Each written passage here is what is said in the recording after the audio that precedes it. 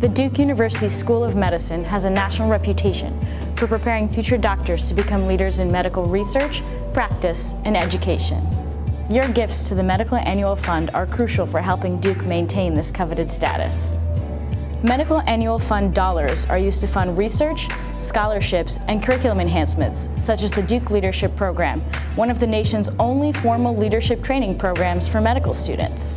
All of this will help us provide our patients with the best possible care in the changing world of healthcare.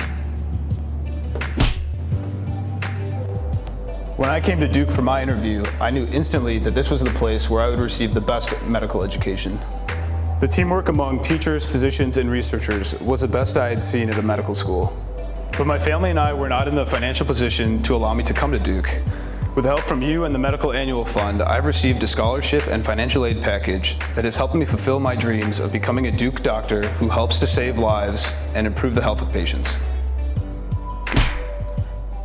What really sets Duke Medical Education apart is its third-year research program. I work with a team of biomedical engineers and Duke surgeons to develop regenerative scaffolds that help to prevent scarring, especially in burn patients.